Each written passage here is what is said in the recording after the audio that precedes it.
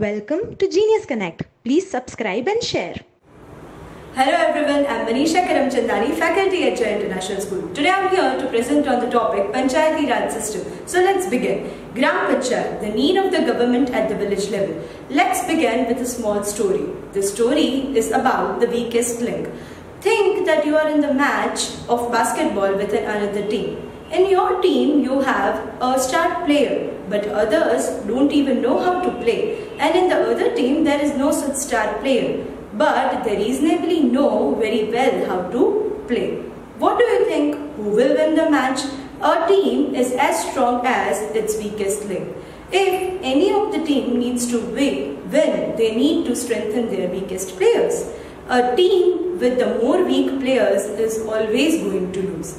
India's situation. In India, most of the people live in the villages and some live in the cities. So to develop, what do you think? Which people need to be strengthened? Village people. If our country, India, needs to prosper, the villages are needed to be developed soon. After long years of the foreign rule, the villages were in bad place. When we achieved the independence, the villages were required to be developed.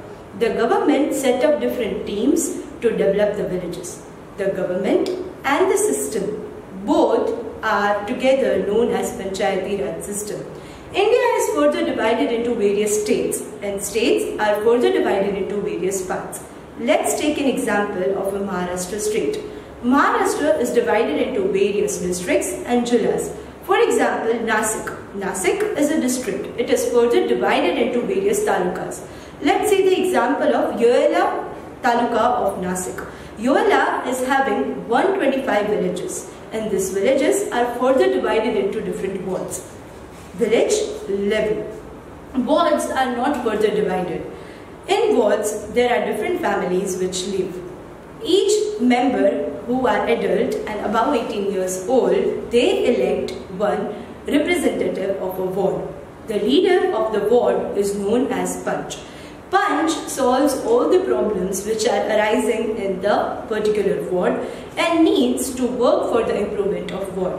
Gram. Gram is an Indian word for the villages. You might know this word because it is used many a time in context of the villages. Gram Sabha. Gram Sabha is the team of all the members who are adults in the village. Gram Panchayat. All the Panch together make a team which is known as Gram Panchayat. Gram Panchayat. All the adults along with the Gram Panchayat elect one leader to lead in the Gram Panchayat. The leader is known as Sarpanch. Sar equals to head. Sarpanch is the leader of the village. Thus, it means that Sarpanch is the leader of the Gram Panchayat. Sarpanch is elected every five years. Thus, we can say that Gram Panchayat is elected every five years. Sarpanch. Sarpanch takes in charge of all the major decisions and meetings in the villages. If villagers think that Sarpanch is not doing the work properly, they can call for the non-confidence vote for the Sarpanch. The village has a secretary, but the Gram Panchayat has not appointed the secretary.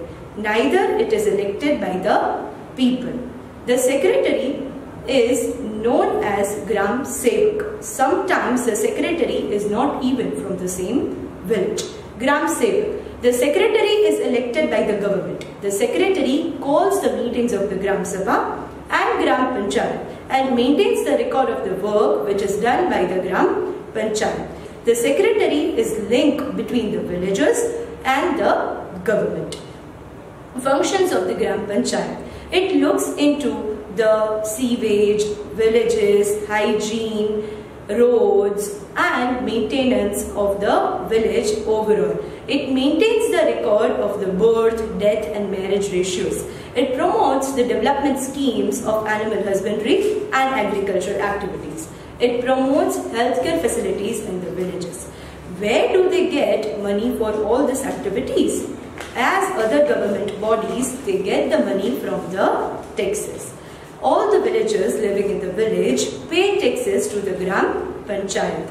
Gram Panchayat uses these taxes for the betterment of the village or in other words we can say for the welfare of the village. Gram Panchayat has to take all the decisions in front of all the adults of the village and the Gram Sabha. Gram Sabha sometimes can question also the decisions of the Gram Panchayat and can suggest the better alternatives if there are any. Gram Sabha makes sure that all the decisions are fair and for the welfare of the village. It ensures that the Gram Panchayat does not take decisions keeping in mind the benefit of their friends and relatives. Sometimes Gram Sabha controls over the Gram Panchayat so it only works for the betterment of the villages. Many Gram Panchayats together make Panchayat Samiti, which is also known as Janpad Panchayat and Panchayat at the block level. Above that, we have Zilla Parishad, which is known as District Panchayat as well. It works for the overall village as we have seen about the Nasik as a district earlier. The Gram Panchayat has been set up at the lowest level to make sure that people's participation is from the basic level. For an instant, village.